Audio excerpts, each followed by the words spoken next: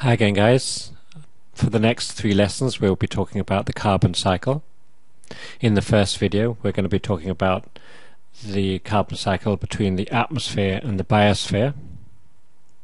In the second video we're going to be talking about the carbon cycle between the atmosphere and the oceans and in the, in the third video we're going to be talking about the carbon cycle between the atmosphere and the lithosphere. Just to clarify, these are carbon cycles. Uh, that means uh, no carbon, no extra carbon is actually being uh, emitted into the atmosphere because any carbon being emitted into the atmosphere is also returning back to its source again. For example, uh, carbon dioxide leaving the ocean uh, leaves the ocean, 90 gigatons of carbon leaves the ocean per year. But then in that same year, 90 gigatons goes back into the ocean again. The same is for the biosphere. 120 gigatons of carbon leaves the biosphere to go into the atmosphere. But in that same year, 120 gigatons goes back into the biosphere again. So there's no actual net gain to the atmosphere and that's the same for the lithosphere as well. So to put it another way, the carbon cycles don't actually add any carbon to the atmosphere, they just recycle it through the atmosphere and all the three different carbon cycles here recycle the carbon through the atmosphere. By comparison, humans, through burning fossil fuels, emit about 7 gigatons per year into the atmosphere and through the process of deforestation as well humans also emit about 2 gigatons of uh, carbon into the atmosphere uh, per year. About half of the emissions which humans emit into the atmosphere stay in the atmosphere. The other half gets absorbed by the ocean and the biosphere so about half the emissions we emit actually add to the amount of uh, carbon dioxide in the atmosphere. Okay, just before I start talking about the carbon cycle between the biosphere and the atmosphere, I just want to talk about trees a little bit really, and hopefully uh, you'll get a little bit of a better idea of what carbon does. Here's a picture of um, an oak sapling, uh, a baby oak tree. This is the acorn, and you can see the this small oak tree growing out of it. And here is a picture of it growing out of the ground. And here it is, it's grown a little bit more and a little bit bigger. So here it is, it's about bush size now and that's better. It's actually starting to look like a a proper oak tree now. And here's a, a young mature oak tree. It's even grown some more. And it's grown a little bit more. And uh, here's a fully mature oak tree. And nearly fully grown. And this is the fully grown oak tree so you can see, you know, it's it's really grown a lot from that, from the little baby tree which was which was coming out of the acorn, and now we have this like huge oak tree. Now, if you could, or if somebody could hang around for long enough and watch an oak tree grow, for example, this one grow from from when it was a a little tree growing out of an acorn to a fully sized tree like here. That person would probably imagine that the tree is growing out of the ground. And um, that's not really what's happening. Both the leaves and the, the wood of the tree don't actually come from the ground. They actually come from the air. You see, the wood and the leaves are mainly made from carbon and water. What happens is carbon dioxide in the air gets breathed by the leaves. The sun shines on the leaves and through photosynthesis it separates the carbon and the oxygen.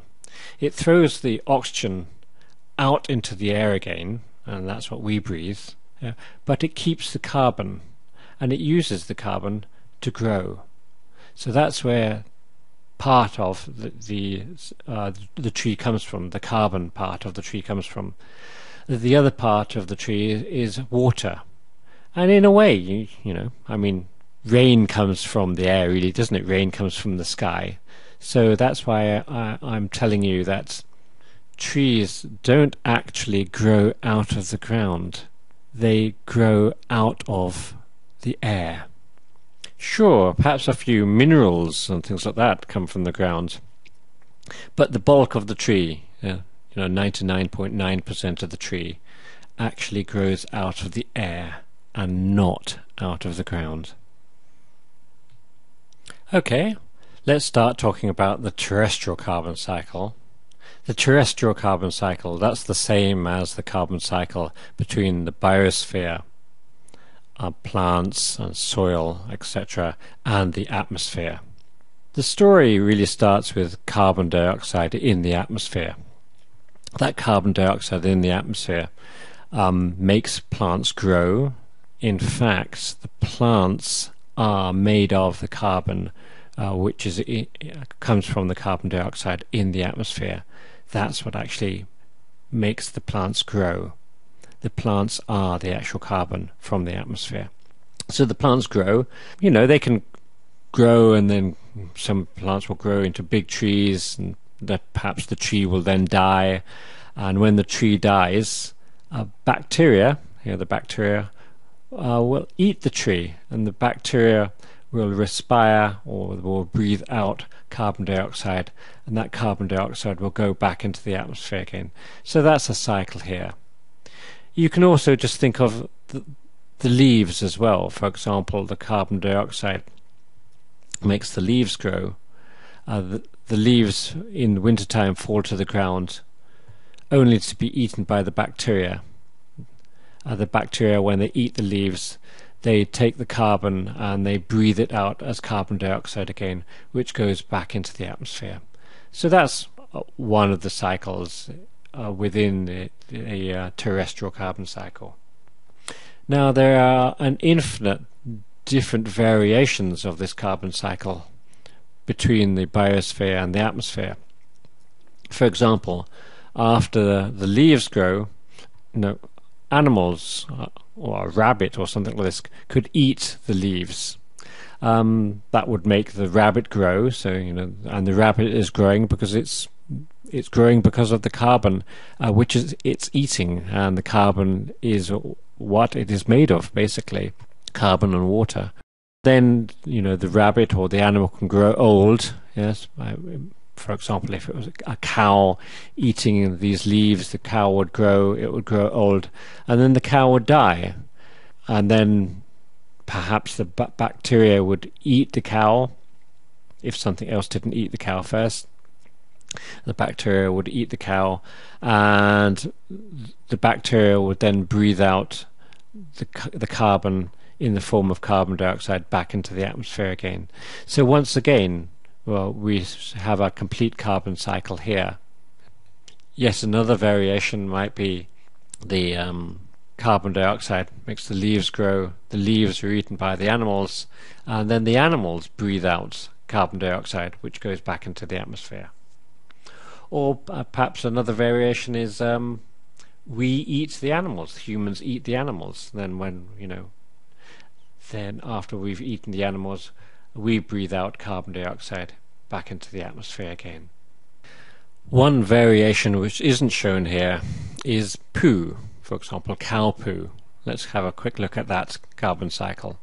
So the the carbon from the atmosphere goes to make the plants and then, for example, the cow uh, eats plants, or let's say the deer eats plants, and then the deer poos, and the poo goes on the ground, and the bacteria they start eating all the poo, and then bacteria breathe out the carbon from the poo, yes, into the atmosphere. So that's a, another cycle as well. So basically, any living or organic matter, you can look at it and you should just try to imagine it as part of the carbon cycle. So, you know, the next time you look out the window and you see a tree, yes, try try to imagine the next step in the carbon cycle from that tree. And the next step is, for example, the tree dies, then the bacteria eat that tree, and the bacteria um, then breathe out the carbon from that tree into the atmosphere. So next time you're walking around or anything like this, just have a look around you, and you know the, the carbon cycle is happening all around us all the time. Once again, uh, an important message of this video is that the carbon is just recycled. No extra carbon goes into the atmosphere. The amount of carbon in the atmosphere should stay roughly the same. Okay, see you next video. Uh, next video we're going to be talking about the ocean carbon cycles.